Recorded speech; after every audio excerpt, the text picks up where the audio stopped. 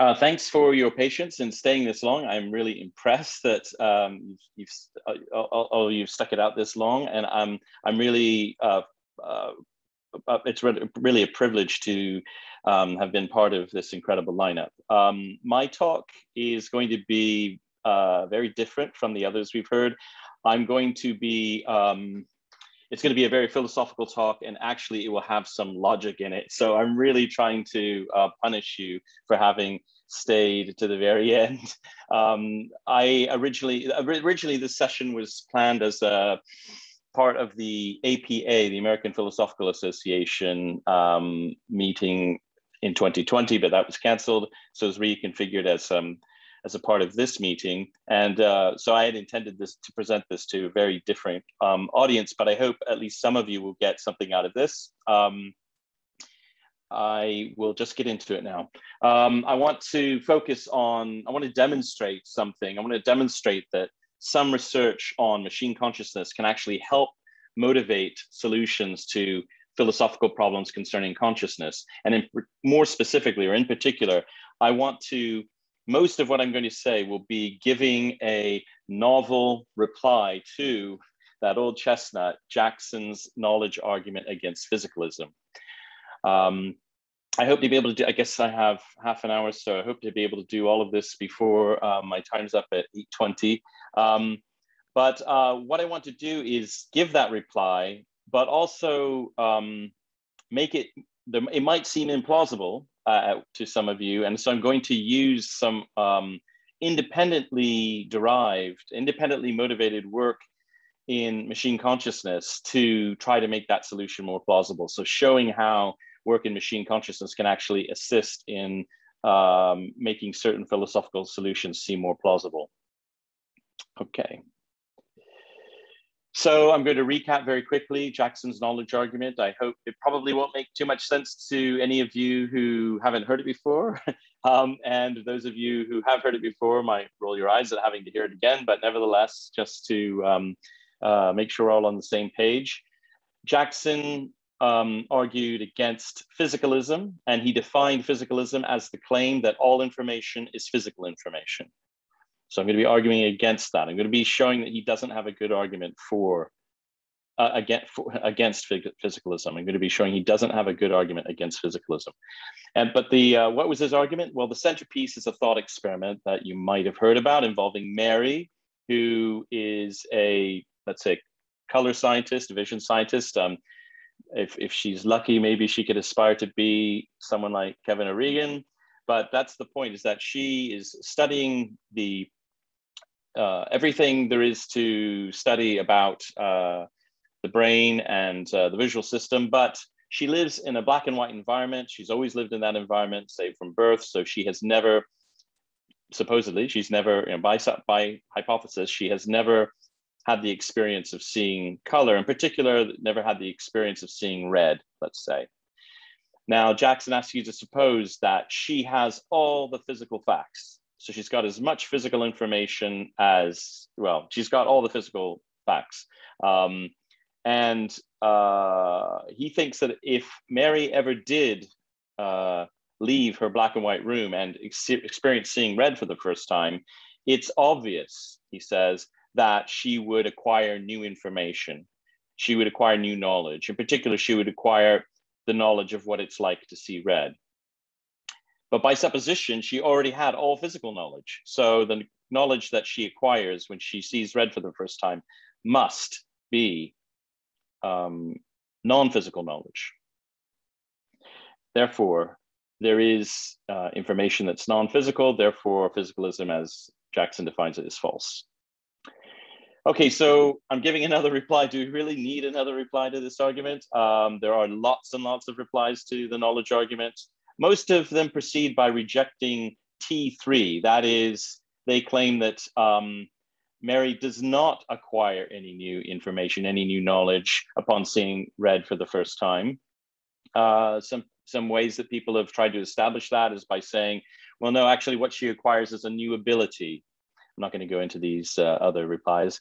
Uh, another idea is that she doesn't acquire new information or new knowledge. She actually acquires a new guise or a new way of of, of a new mode of presentation of previously known facts. So that doesn't, um, so it's not inconsistent with uh, physicalism that she acquires a new way of understanding a physical fact um, or a new way, a new mode of presentation of a physical fact. Um, Dennett uh, is an example of someone who says, look, all bets are off. This is such a bizarre thought experiment. We can't, we have, you know, if you think you know what it's like to be Mary and what kind of knowledge she's going to acquire or not, or whether or not she's going to acquire when, knowledge when she sees red for the first time, you uh, are braver than um, than he is or than I am. Um, we really can't imagine what it would be like to be such a physically omniscient uh, creature. So, do you really want to claim that you know rest your uh, metaphysics on such um, a, a, a, a, bizarre uh, situation? Um, but the problem is with all these replies is that there are counter replies. They can be disputed, and they aren't. They don't have a, kind of logical, ironclad, uh, knockdown nature to them. So, what I want to do is offer. Um, I want to grant I, I want to re reply to Jackson and refute his argument by actually giving him this premise T3 that's highly controversial and say, okay, Mary does acquire some new knowledge um, when she sees red for the first time. But what I want to do instead is show that another premise, the other premise uh, of the argument, um, T2, the one that supposed that Mary has all the physical information, I want to show that that's not just impractical or unlikely or hard to imagine or involves infinity or something like that. I actually want to show that it's logically impossible. It's not just physically impossible, as some people have argued. It's not just um, that it's impractical. It's actually logically impossible. And so there's the, the thought experiment can do no work at all. You might think that thought experiments that have physically impossible, phys- physically impossible premises might still do some conceptual work. I want to say no, this argument can do no conceptual work because it actually is a contradiction to suppose that Mary knows all physical uh, information. That's the first step only. So I'm going to refute the knowledge argument. That's not my main target here. What I want to do, it, turns out that you can modify the knowledge argument to handle my objection. And that's really what I want to achieve here. Is I wanted to refute what I call the revised knowledge argument that Jackson's never published. I, am I'm, I'm putting it forward um, myself as a kind of uh, charitable reading, well, some reading of what Jackson could have done um, or what he could do in the face of my objection. And it's the reply to that argument, the refutation of that improved knowledge argument that I think reveals something about um, the nature of uh, consciousness, nature of qualia, perhaps that can, can be related to work in machine consciousness. And machine consciousness can motivate the refutation of that strengthened argument. So that's um, why I'm doing this. That's why there's value to making another reply. I mean, if you think about it, uh, most, I think, most people would agree that the prospects for machine consciousness depend on the truth of physicalism of some sort or other. Now, that might not be the case, but that, that kind of, I think, can get a lot of you into understanding why, why um, rejecting a major argument for physicalism might have something uh, to do with um, machine consciousness, but um, I, will be able to make the connection more tight than that, hopefully. All right, so let's get into this um, uh, refutation of the basic knowledge argument, the knowledge argument that I just outlined before. Um, what I have to do to show you how that premise T2 is, is logically impossible is I have to introduce you to the concept of an epistemic blind spot. An epistemic blind spot for a subject let's say S, is a piece of information or knowledge that is def it's true and it's knowable. It's not the kind of thing that can't be known by anybody, but for which it would be a contradiction to suppose that S knows it. So it might be a surprise to you that these, such blind spots exist. Some of you, um, it might not be a surprise, but um, uh, it dates back to at least um, G.E. Moore, who played around with these things. He didn't call them epistemic blind spots. Sorensen invented that term, but um, let me give you an example. Um, suppose it's raining. Then this sentence or proposition is an epistemic blind spot for Mary. What's the sentence? B. It's raining, but Mary doesn't know it. Now that's a sentence which is true. Well, let me go the other way around. That's an epistemic blind spot for Mary. Why? Because it meets these three conditions. Let's start with uh, the last one I mentioned, the one I mentioned is number one here, B cannot be known by Mary because if you suppose that she knows that, you get a contradiction. Why? Because if she knows it's raining, but Mary doesn't know it, then presumably she knows each of those uh, conjuncts. She knows that it's raining and she knows that Mary doesn't know that it's raining. But that's a contradiction because Mary does know that it's raining by supposition. Uh, so to suppose that Mary knows B is a contradiction. This is well known. This is nothing new to my argument, right? I'm something I'm using. So um, B cannot be known by Mary. Uh, but B is true because uh, it is raining, and since uh, and and Mary doesn't know it. Um, because if you uh, suppose that Mary did know it was raining, then um, you would get a contradiction. Um, so uh, B is, and furthermore, B is knowable, for instance, by you right now because of this, uh, because um, I took you through the steps of uh, saying, well, suppose it's raining. Well, now we can conclude that Mary doesn't know it, and therefore um, you know this. So it's an example of something which is, it's not weird in the sense that no one could know it, it's just a particular, because it mentions Mary and mentions her knowledge, it prevents her from knowing it. It's a self-referential um, singularity for her. It's a blind spot for her, but only for her, because it only mentions her. Now, what I want to do is um, make this step to show that uh, because of epistemic blind spots, this premise T2 is, is uh, impossible. It cannot, it cannot be true. Some things to note about that blind spot B. The um, its raining part is completely arbitrary. We can substitute any knowable fact uh, into and create a, another uh, blind spot for Mary. So we can create an unbounded number of blind spots for Mary. There are an unbounded number of physical facts that Mary cannot know, or facts at least that, that Mary cannot know. And then I want to point out that B is a physical fact. It's about raining and it's about whether Mary knows or doesn't know that physical fact. Now, you might dispute that, but Jackson has to agree with me that B is a physical fact because if he thought that a fact were rendered non physical just because it mentions a person's knowledge, then he wouldn't need to have given his um, knowledge argument in general. He'd just be able to say, of course, there are non physical facts. Look at this fact. Um, Mary knows that, that Mary doesn't know it's raining. If, if it's if, if all that it takes is something to mention a state of knowledge of someone is uh, if that if it only takes that it being about someone's state of knowledge to render it non-physical, then uh, we don't need the knowledge argument. So Jackson obviously didn't think that that was sufficient to show that something was non-physical. So um, he has to agree with this, that B is a physical fact. So we have an unbounded number of physical facts that Mary cannot know an unbounded number of physical facts that Mary cannot know, and thus supposing that Mary has all the physical information, that she knows all the physical facts, is an outright logical impossibility. Okay, so it's rather cheap, but I get there.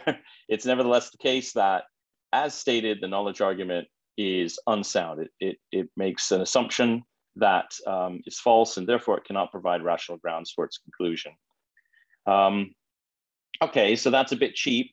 One might think that you know there might be a way for Jackson to patch that up and and and create a revised version of his argument that avoids my my my my point here. And yes, that's right, but it's not going to help ultimately. So let me let me take you through this. So let's make this quick patch to T2 and say, oh, you know, roll our eyes at Ron. Okay, yeah, okay. She doesn't know all the physical facts because there are these epistemic blind spots. But let's just put, let's just build that into our T2, make T2 prime and say, suppose Mary has all the physical information that it's possible for her to have. She knows all the physical facts that it's possible for her to know. Now, can we get on with the uh, knowledge argument, please? So yeah, T2 doesn't make that mistake. It isn't a, a, a logical impossibility for Mary ha to have all the physical information that it's possible for her to have, right? Um, so the revised knowledge argument uses this premise T2 prime and it goes ahead as before. Um, but we can, re the revised knowledge argument fails as well. Why?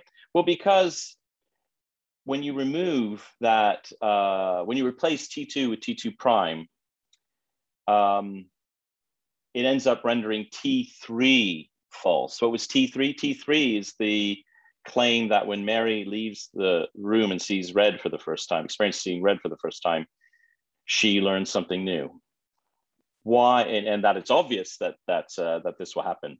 Why is that? Why is this? Why is it the case that T3 is now false? It's no longer obvious that she'll learn something new. Well, because um, under T2 prime, when you have T2 prime, we can now demonstrate that there are physical facts that Mary does not know before she experiences seeing red for the first time, but which she can come to know once she does experience seeing red for the first time.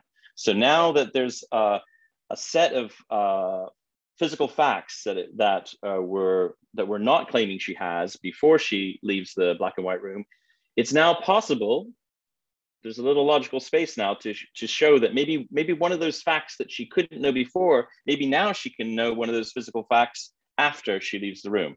And that indeed is the case. One can demonstrate that. And that's what i do demonstrate. Demonstrate that.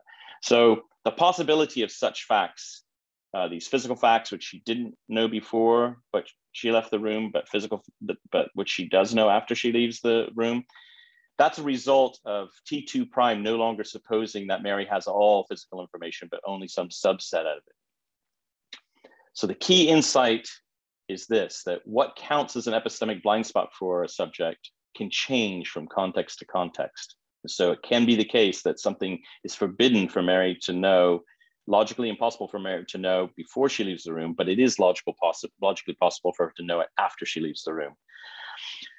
And one of those physical facts can constitute the knowledge that Mary comes to know, and therefore we render T3 false. We, it's not obvious that she can't learn that there's no, that there's no physical fact um, that it's not obvious that she must acquire some new knowledge um, that's um, non-physical before she leaves the room. I mean, once she leaves the room.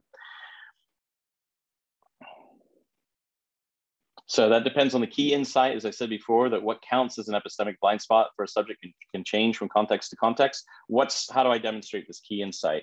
Well, we can construct such an, an, a fact for Mary and, and, and observe the fact that it's impossible for her to know it before she leaves the room and is possible for her to know it after she leaves the room.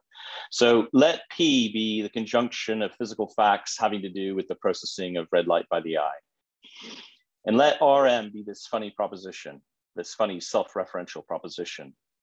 P and if Mary has not seen red, Mary does not know RM, where RM is this very proposition. Now this proposition, RM, I claim, meets this condition. It's an epistemic blind spot for Mary if she has not seen red, but it's not an epistemic blind spot for Mary if she has not seen if she has seen red. So it's available to be the kind of fact that she learns when she leaves and when she sees red for the first time. Now, I don't just claim that, I have an argument. It's pretty, you know, it might be heavy duty logic for this uh, time of the, uh, the day. Well, I, well, after this many hours uh, following talks, but I'll just go through it. If you want to go through it more carefully, you can um, see my paper. So I have two things to show. I have to show that it's an epistemic blind spot if she hasn't seen red, and it's not an epistemic blind spot. Um, that is, it's available for her to know if she has if she has seen red. So here's the first part. What's how do I show that it's uh, it's an epistemic blind spot for her if she hasn't seen red? So let's assume she hasn't seen red. What follows? Well, what we're going to do is we're going to suppose that she does know RM because that's the opposite of what I want to show. I'm going to show that contradiction follows from supposing that she knows RM. So I'm going to show that it's impossible for her to know RM if she hasn't seen red because a contradiction follows from supposing that she does know RM.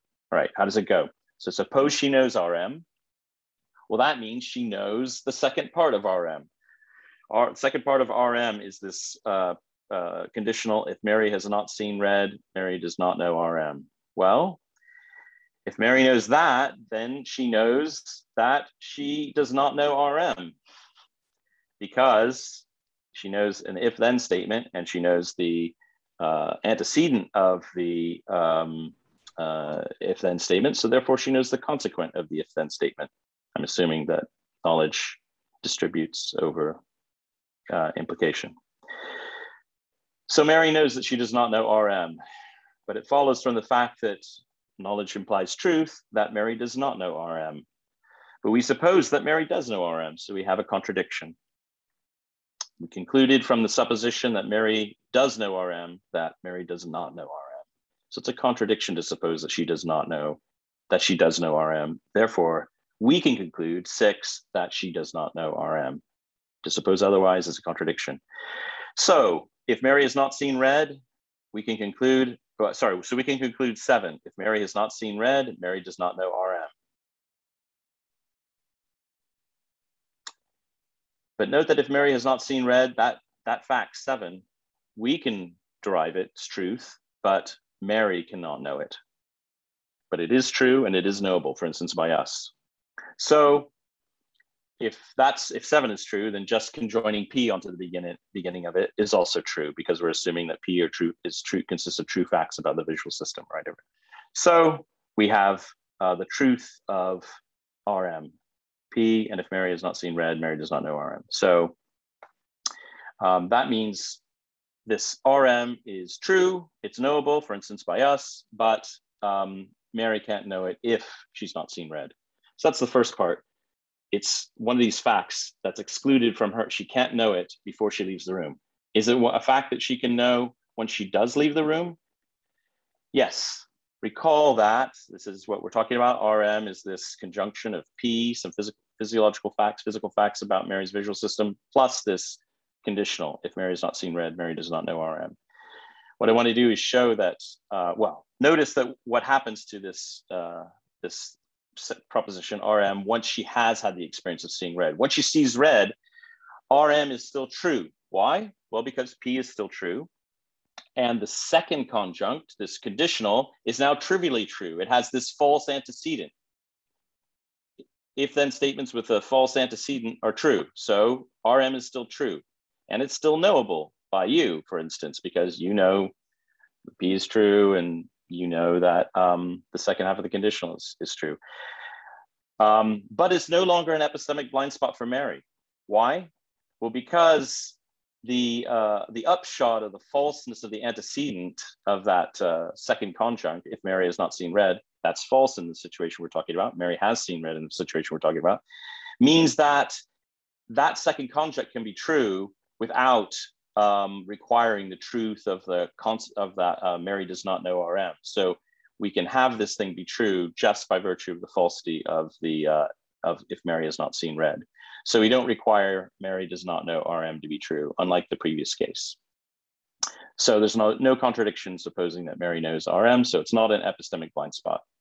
So it was an epistemic blind spot before she saw red, then she saw red, and it's not. So it's available, it's a physical fact that's available to be to play that um, counter example role against the revised knowledge argument. It's available to say no. It's it's not obvious that T3 T3 is not true. It's not obvious that no no fact could um, play physical fact could um, be what Mary learns when she leaves the room. So the rise knowledge argument is false. So what's the connection to uh, to machine consciousness? Well, it goes by via this um, connection that we might have found here between consciousness and self-reference.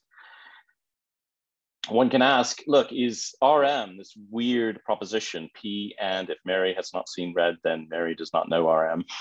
Is it really a plausible candidate for what Mary comes to know when she experiences seeing red for the first time? my first response is to say it doesn't matter, at, at least as far as the uh, revised knowledge argument is concerned. All I had to do was find one counterexample, and that shows that Jackson's argument doesn't work. But I don't want to be so austere here. I want to actually try to find some deeper connections. So let's let's actually take this question a little seriously and say, well, what's the problem with RM? Some might be put off by what they perceive to be its contrived nature. It's a bit recherche. Uh, you know, is this some kind of linguistic trick? is could knowledge of such a, a, a recursively self-referential conditional epistemic blind spot really have any substantive connection to what it's like to experience red? Well, I think we have some indications that despite maybe appear, first appearances, that actually the answer to that question is, is yes. So, you know, there are several theories that try to that do you know forge a connection between not just like higher order thought, but actually self-referential, self uh, self-representational uh, abilities and uh, consciousness. And I'm not just thinking of uh, Uriah Kriegel and company here, but also Douglas Hofstadter's I Am a Strange Loop, I think makes this point very explicitly. Maybe you could understand something of what Graziano is doing is, is, is uh, involving some uh, self-reference in a very important way in uh, the nature of consciousness, but more particularly in the, the, the particular kind of uh, virtual machine functionalist account of qualia that Aaron Sloman and I have worked on um, independently of this argument, by the way. So we started work on that. Uh, we call it VMF. You could call it the VMF account of qualia. We started on that back in like 2001. Uh, and I only came up with this argument uh, about uh, Jackson a few years ago. So um, it's it's definitely an independently motivated theory. What is that theory? So I can explain how it um, motivates RM. Well, it's a physicalist theory of qualia. It says, look, uh, you know, Kevin's right. We have lots of beliefs about qualia, and many of them are false. But it denies, unlike what uh, say some people like Kevin and maybe Daniel Dennett would say, that doesn't mean that because we have these so many false theories about qualia that, that those uh, so false beliefs about qualia that therefore um, qualia don't exist. For example, um, the ancients had lots of false beliefs about gold, but um, we didn't conclude that gold exists. We just concluded that they had a bad theory of gold. Um, and gold, um, if, if because we found something that um, explains our, uh, our and the and our, the ancients talk about uh, gold uh, in a in a unified way. We considered gold to um, have been uh, we've we found a referent for gold, even though that referent of gold didn't meet and maybe couldn't meet any of the things that um, or most of the things that the ancients believed about gold. Like it was made, it was a compound and it was made of uh, alchemical essences and things like this. Um, so if that's pictures right, then to look for physical physicalist qualia, we should be looking for the virtual machine aspects of ourselves that explain why we tend to have the beliefs that we have about quality, qualia, especially the false beliefs about qualia.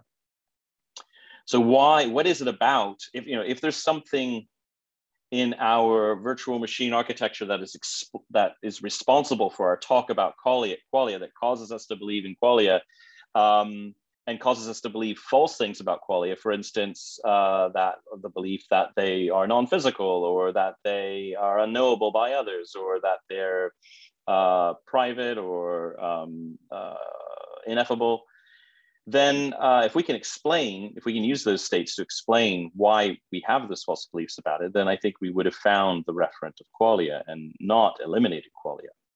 Just like we didn't eliminate gold when we found the stuff that explained why people believed that it was a compound of a certain kind or why it was made of a certain um, alchemical essence, a combination of alchemical essences.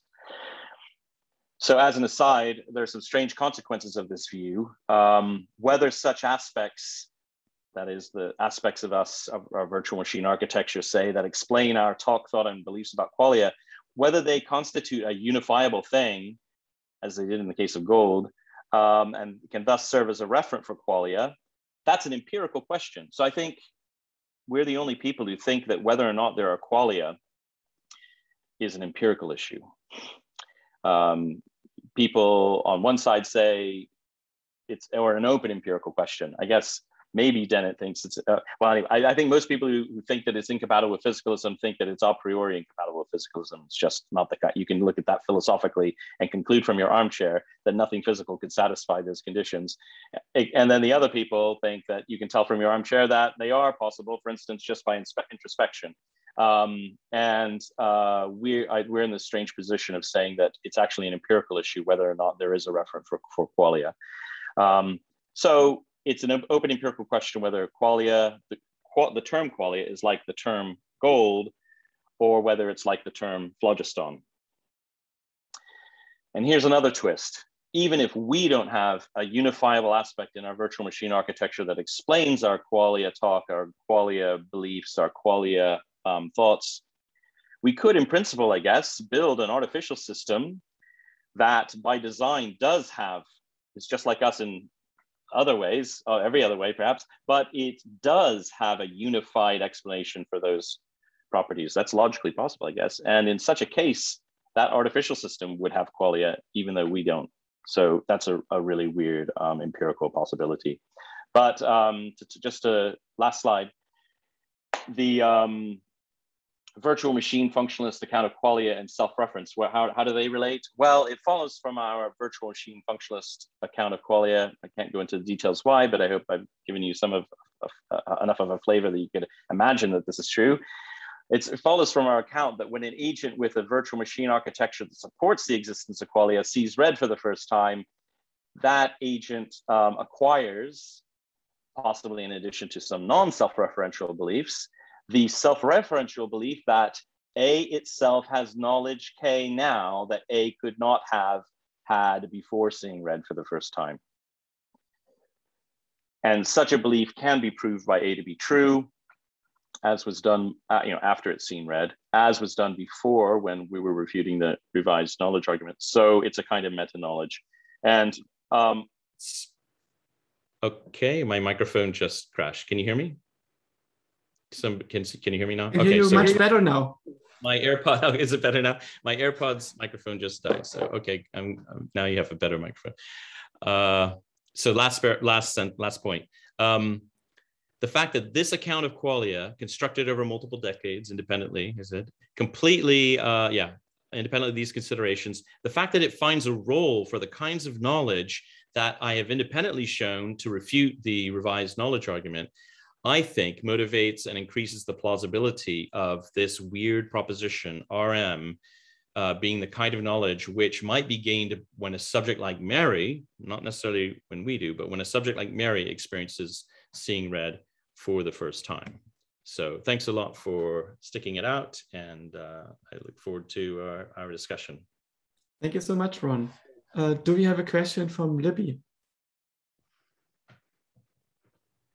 Yeah, sorry if I if I've kind of if you've already gone over this as the argument progressed, but it sounds like um, these epistemic blind spots are potentially what's missing from a deductive account of knowledge. So the set of the set of all sets of facts that you could obtain. So um, is how would we say no as an observer of virtual machines, um, whether they had that kind of whether they had those, how we could deductively uh, see whether or not they had the same epistemic blind spots, if that makes sense.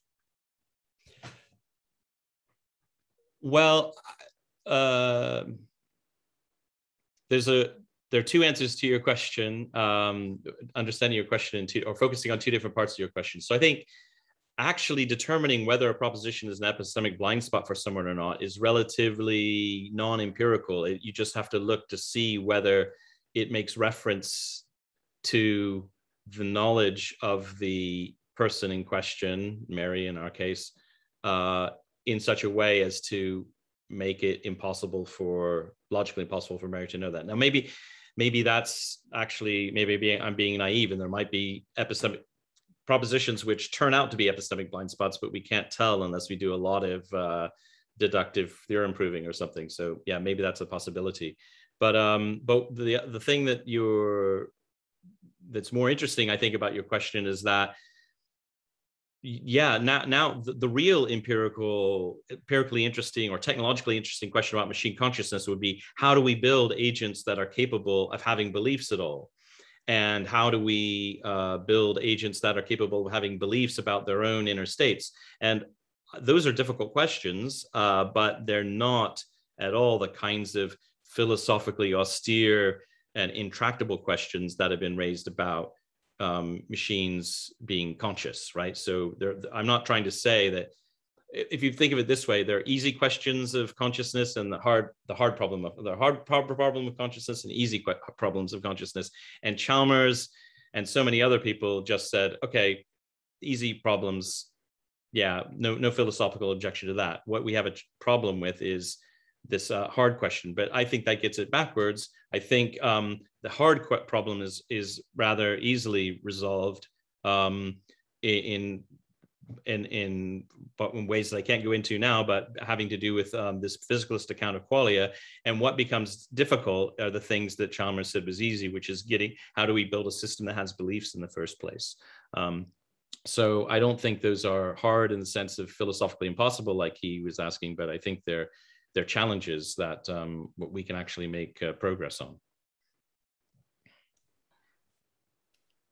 Okay, I have. A, thank you. I have a, a question too. So, uh, from my perspective, it seems that Mary is not uh, identical to her brain or neural implementation, but uh, Mary is a model of a person, uh, and it's a multimodal model of a person. And uh, her uh, knowledge that she self-ascribes is a model of what she has models of, right? And this concerns different modalities. So, for instance, she has propositional knowledge and she has an implementation of a game engine that produces the simulation of the world that she subjectively inhabits. And so when we ask ourselves whether uh, Mary is able to uh, learn something new about red when she sees red for the first time, uh, I think it comes down to the question of uh, whether Mary is able to change the implementation of a mental game engine uh, solely by the uh, access to propositional knowledge right? Reading about what red is in books. Color itself is a local feature dimension of texture.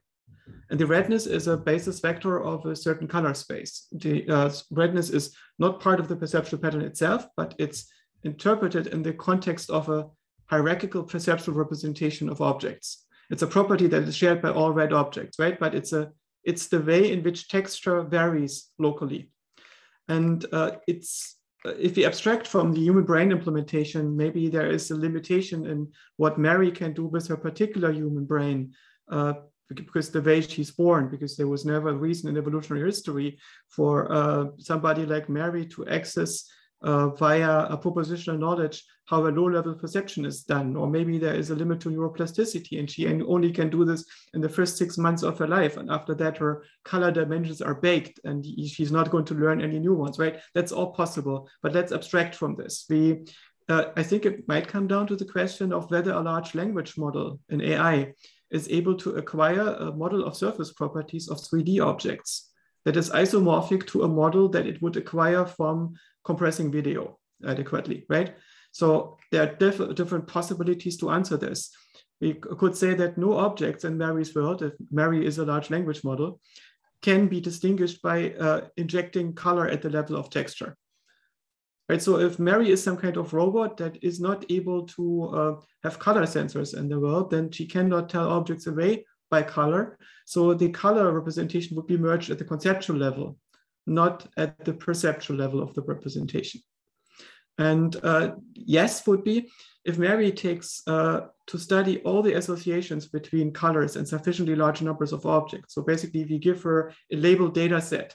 And labeled data set, there are all sorts of red objects and non-red objects and red textures and non-red textures and uh, red gradients and non-red gradients and so on. Eventually, she, uh, the best uh, level of representation the, uh, of these associations, uh, the embedding layer, will not be at the conceptual level. Uh, it's not clear to me whether we will get it below the texture.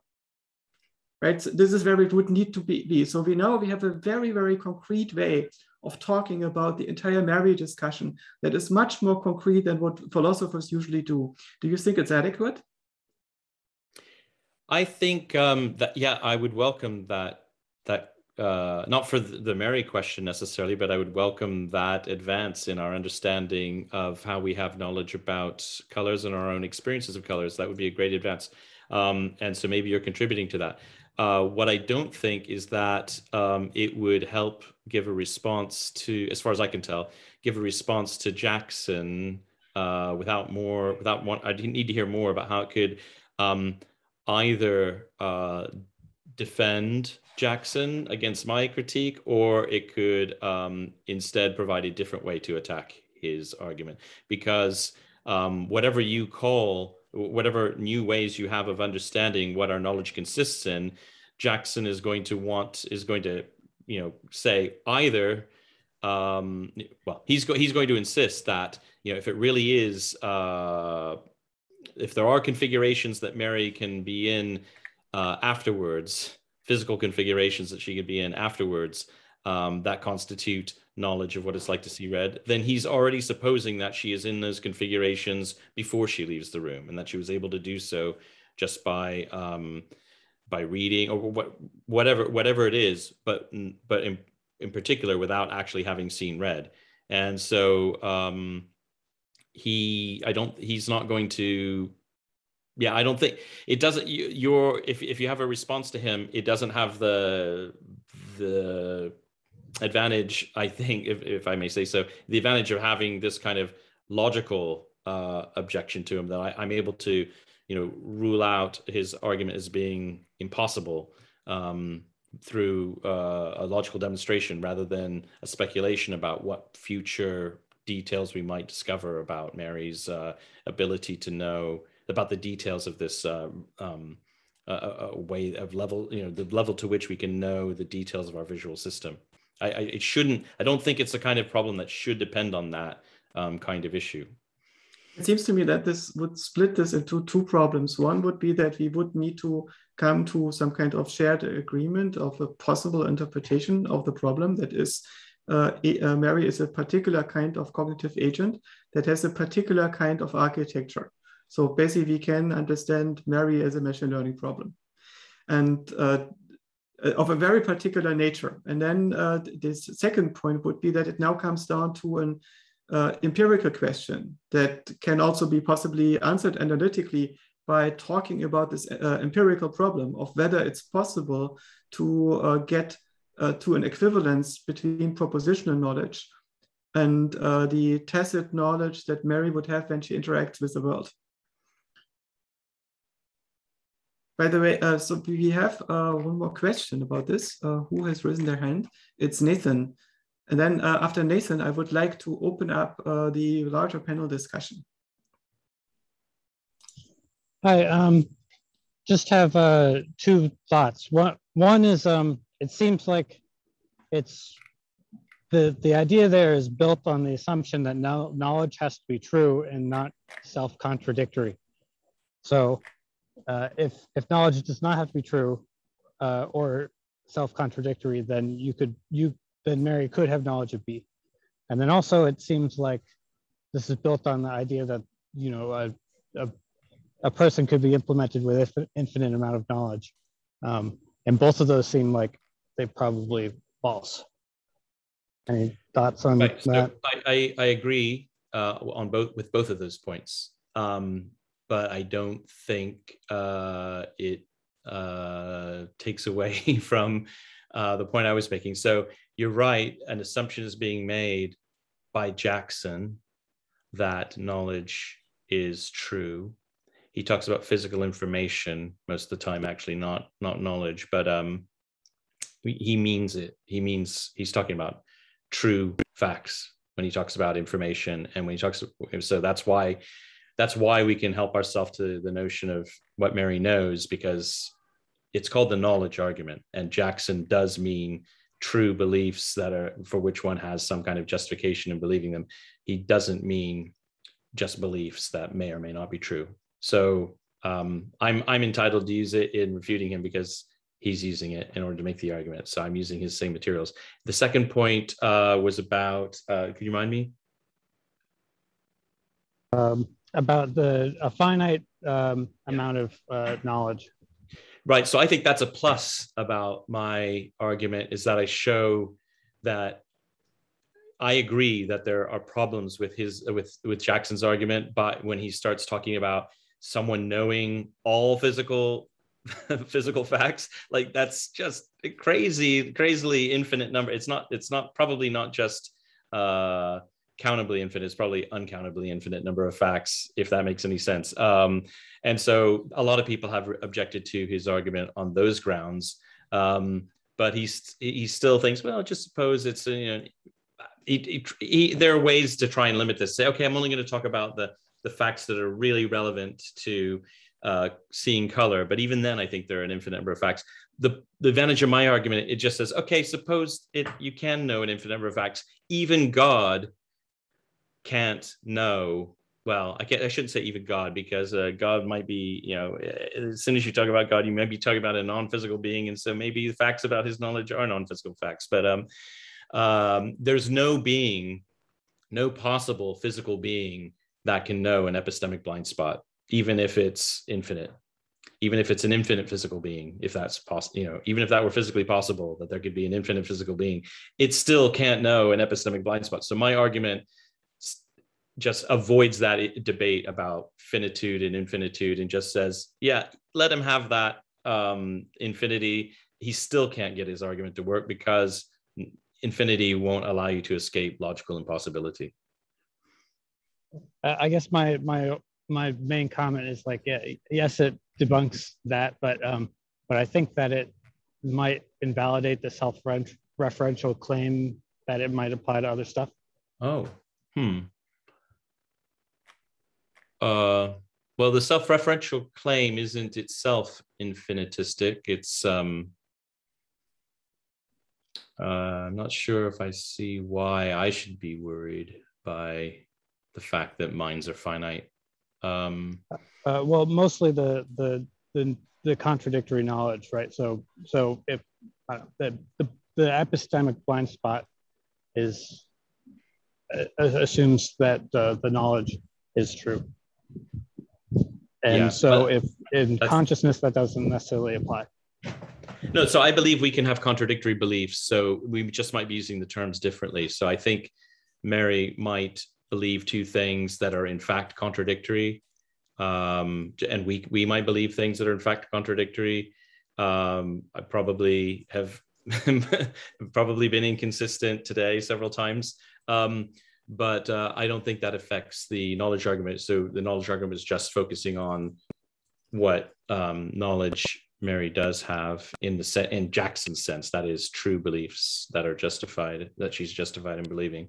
So I don't think, um, yeah, I think I can my I can still have have a picture that that handles all the all the facts you want to handle about how people can be inconsistent and and make mistakes and and have beliefs that are inconsistent. Yeah.